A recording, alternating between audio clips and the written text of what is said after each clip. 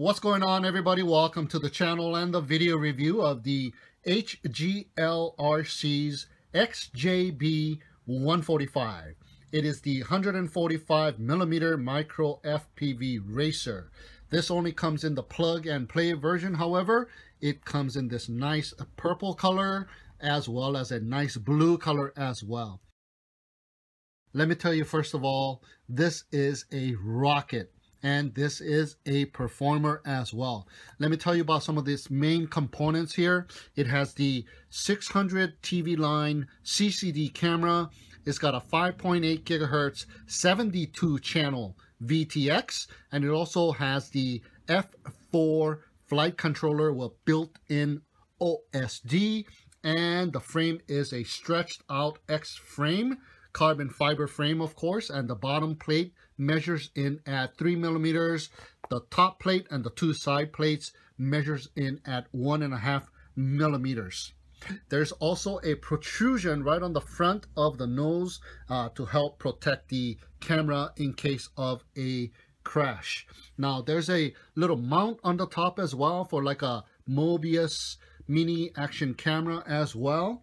And there's four standoffs holding the top plate to the bottom plate. And there's a couple of standoffs going sideways on the top. The motors are the HGL Tex flame motors and they are the 1407 3600 kV motors and they have this purple theme going on as well and we are given 3045 tri-bladed props but the only thing is they only give you one set of these props uh, that is too bad because these are some very very nice props and the motor wires running to the ESCs are zip tied as well the ESCs are the BL 28 amp ESCs with 35 amp bursts and it supports 2S to 4S batteries. And the firmware is the BL S 16.5 firmware and there is, however, the power cable coming off of the side of the ESCs, and they kind of get in the way of you holding the quadcopter if you hold the quadcopter right here, which I like to do. So that kind of gets in the way a little bit. But I did uh, zip tie the power cable to the hind leg, and the power cable is an XT30 power cable. The flight controller is the Micro F4 flight controller and it is pre-flashed with Omnibus F4 3.1.5 firmware and it is also preloaded with Betaflight OSD as well and it is pre-configured with D-Shot 600 right out of the box. So here is the camera and they are calling this camera the XJB ELF camera. It is a 1 3rd inch Super HAD 2 CCD camera with 600 TV line and 120 degree field of view. And it is hooked up to the VTX, which is a 5.8 gigahertz 72 channel and it is switchable from 0 to 25 to 100 to 250 milliwatt output power and there is a push button right here to change the channels, the frequency, and the power output. There is an LED display, however, but you are not able to see it from the top. So that is one thing bad. You will have to remove the top plate in order to adjust the VTX channels and the power and the frequency. And the antenna that we are given is the 3 dBi dipole whip antenna and it is connected to the VTX via a IPEX antenna connector. And it also comes with a buzzer and couple of LED lights in the back. They are attached to the side plates in the back via a couple of rubber bands wrapped around the buzzer and you will have to keep an eye on it just in case it starts to get old the rubber band that is and it starts to fray and it might untangle itself just from use and abuse. So keep an eye on that so you don't have a flyaway buzzer and LED light and it might hit the props while you are flying. So keep an eye on that. Uh, we are also given this red heavy duty velcro strap which is really, really nice. I just put a little black additional Velcro strap to hold down the balance cord on the battery. And we are also given this nice rubber or some kind of a silicone pad that was already stuck on here. And the battery, when you place the battery on one of these guys, the battery sticks to it somewhat and it does not slide. So that is really, really nice. And the quadcopter by itself without the battery comes in at 130 grams. Okay, so when you first receive the quadcopter, uh, there's not going to be the props already installed, so you're going to have to install the props yourself, as well as the receiver. It is a plug-and-play version, so you will have to provide your own receiver. Uh, but the good news is that you see those three wires, uh, a black wire, a red wire, and the signal wire. Um, coming out of the top plate there. Well, there's three wires right now, but it came with five wires. So there was three white wires coming out, and each of them had a little tape marking them. One of them was the S-Bus, one of them was the PPM, and one of them was the DSM2 DSMX. So you are able to choose whichever receiver that you want with this quadcopter and it was already soldered onto the flight controller. So you choose the wire that you want. In my case, I chose the S-Bus because I'm using a FrSky receiver and I rolled up the other two and tucked it underneath. You can't see it but it is underneath there so you don't have to snip it off you could snip it off if you want so that is one of the best things about this quadcopter it was just so easy to add your own receiver. And I do have the D8 receiver which kind of gave me disconnect problems.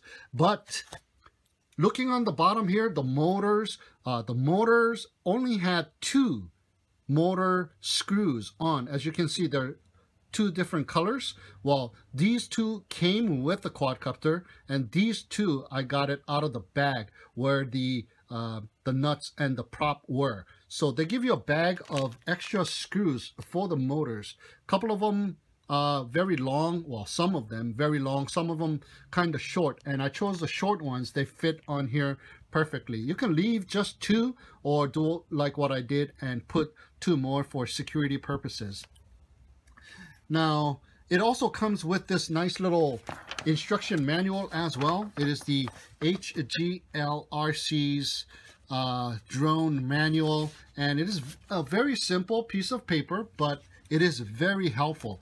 It tells you uh, what UART to choose and to calibrate the accelerometer the D-Shot 600 ESC protocol and then uh, LED strip function and blah blah and whatnot. And they also show you how to go about changing the power of the VTX and they show you all of the uh, available channels and the frequency. So as you can see, there's 72 channels. And they also give you a diagram of the flight controller and the ESC is underneath. So they give you all of the diagram and what you need to know, as well as the VTX diagram too.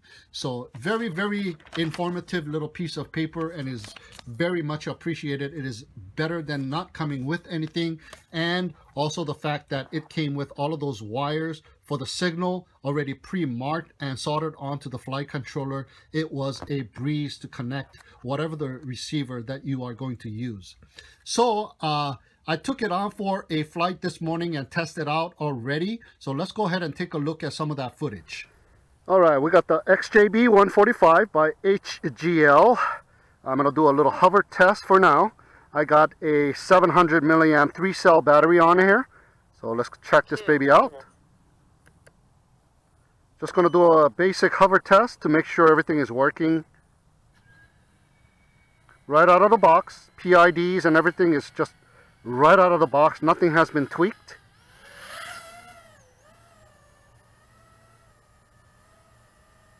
It looks to be very, very nice.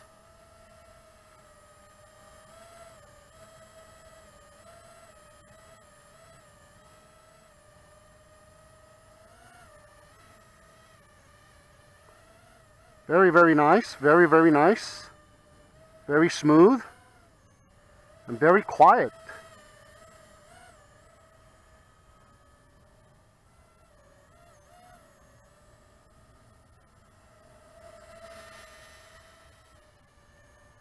Oh yeah. I'm already liking it. Now this battery may be kind of weak. It is an old battery that I just use for binding and stuff like that because I've done overused it so it doesn't have the same amount of flight time and all that. It's kind of an old battery. So I'm not going to punch it out or anything like that. I'm just seeing whether or not it is hovering good and whether or not it is responding good. But it does have a little bit of oomph still left in the battery here. Yep.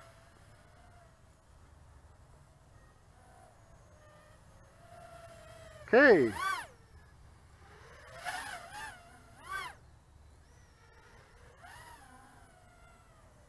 I can hear the props a little bit on the way down.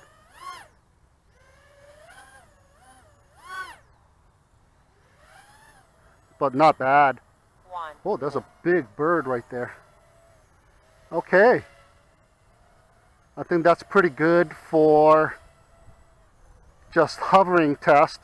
Seems to be promising here. I'm going to stick on a newer battery. Another 3S 850 milliamps this time. And we'll do a little line of sight test with that one. Okay, let's bring this baby down. So everything is working. Fantastic. Nice. Good.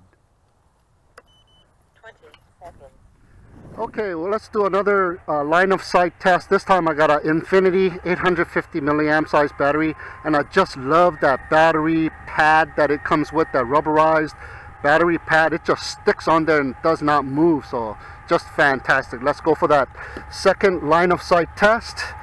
And now that we know it has very good controls, let's go and take off yeah I think this battery has a lot more oomph to it as well so let's go and check this baby out oh yeah this thing just climbs oh wow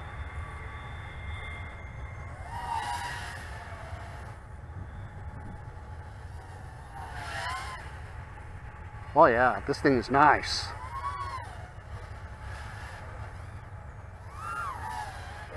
it's fast it's got a lot of power. Oh yeah, this thing is a rocket. Hope I don't lose it. -hoo. This thing is a rocket.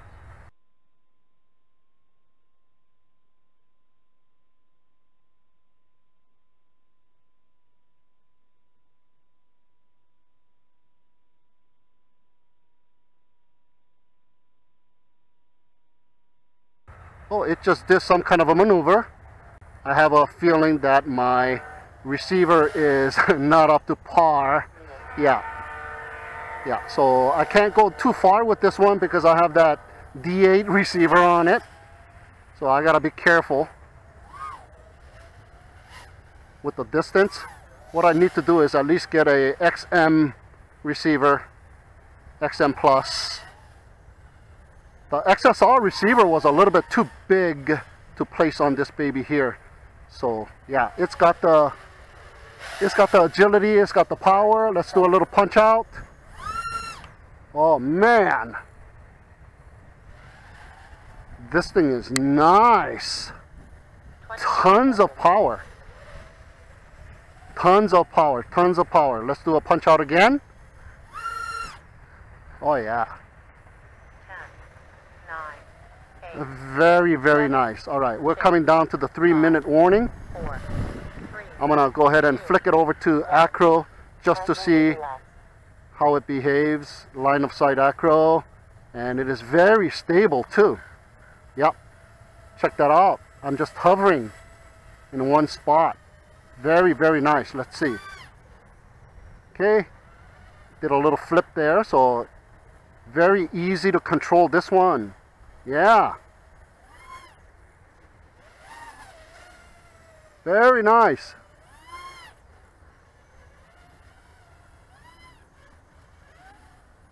Nice.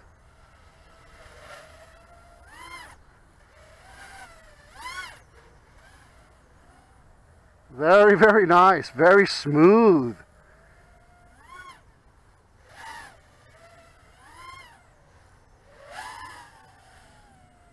Woohoo! Okay, let's go ahead and bring this baby in and check out the FPV. Yeah.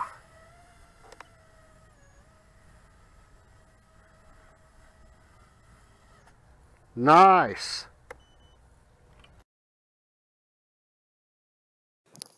Oh, all right. We are just about ready to go with the HGL XJB 145. Oh my God, and the letters are very big on the OSD. Awesome. Okay, let's see. We are armed and ready to go. Yeah, these letters are humongous. Awesome. All right, let's go. Oh, yeah. Oh, this thing is nice. Woohoo! I don't have much distance. Oh, whoa, whoa, whoa, whoa, whoa.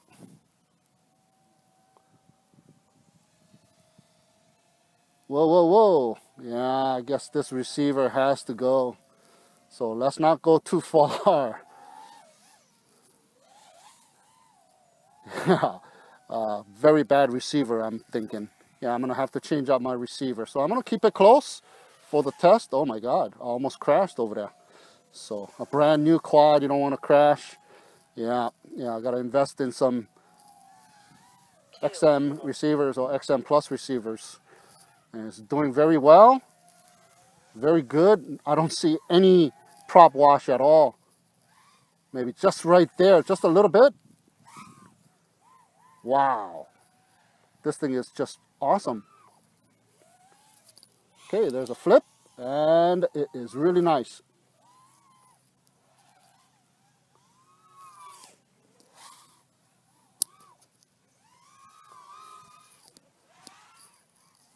Really nice. Really, really nice.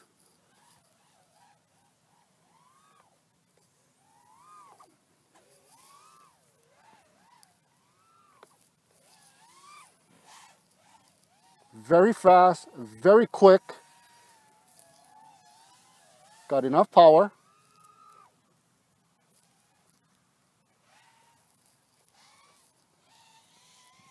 It is fun. Wow, this is a nice, nice racer. Awesome. I just got to change out the uh, receiver and I'll have myself a very nice... Oh, wow. Three inch racer. Lots of power, lots of hang time. And this one is a smooth flyer. Woohoo! seconds. Nice.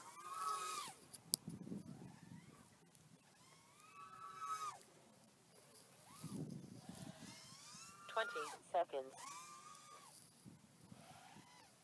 Awesome, awesome.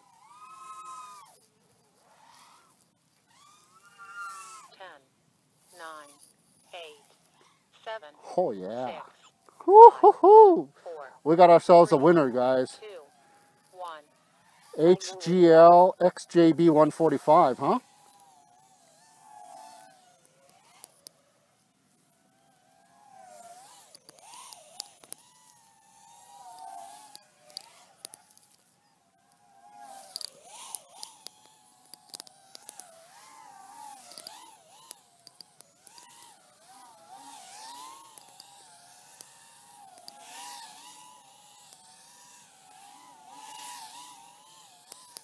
I think we got ourselves a winner here.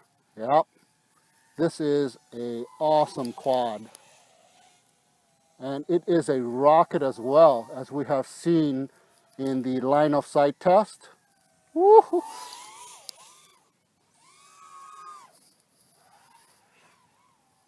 Nice, really, really nice. And we are at three minutes and 50, oh my God, four minutes. And we are still good to go. Awesome, awesome. But I'll bring it in and call it a day. This thing is awesome, awesome. I can't wait until I fly it uh, proximity amongst the trees and stuff like that.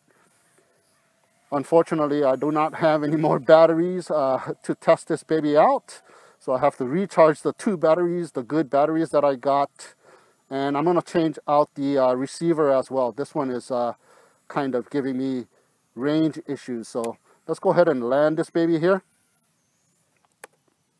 Very, very nice. The HGL XJB 145. It is a rocket and it is a performer. Nice. So those were the test flights I performed this morning. Uh, a couple of them line of sight and one of them uh, FPV. And as you guys saw, this thing is just awesome. It is so smooth. It doesn't have any oscillations out of the box and I'm running Betaflight stock PIDs. I did not touch them. Uh, it is so smooth out of the box and I'm pretty sure if you tweak it even more, it will run even more. So I'm going to go ahead and take out that D8 receiver because it's giving me some disconnect problems. And I do have an XSR receiver on hand and it does kind of fit right on top of that top plate, that recessed area. So I'm probably going to go ahead and change that receiver out and put this one in its place. I have some XM receivers on its way. Until then, I think this is kind of an overkill for this quadcopter being so big. This is more like for a five incher that I've been saving, but I'm going to go ahead and place this baby on there and test it out. So there you have it guys. What do you think? It is a keeper. Oh yeah, I believe so. And this thing is so fast and it is so agile and it performs so well. It has no oscillations right out of the box. Uh, I highly recommend you get one of these guys. I mean, uh, this is the first one that I've gotten that is this size, kind of 145 millimeters, and it's got the nice three inch blades. So it is faster, uh, more speed, more power than those two inches that were uh, stretched out with three inch blades. I mean, this thing's got a lot bigger motors, a lot more power, and utilizing these three inch blades, it just performs excellent. So there you have it, guys. That is my initial review and flight test. More to come, I'm sure, because I'm going to uh, order some more batteries and I'm going to change out the receiver on this baby so I can go the distance and fly it some more. So that is my initial review of the HGL RC's XJB 145. Thank you so much for tuning in and watching. Have a great day and we'll see you again next time.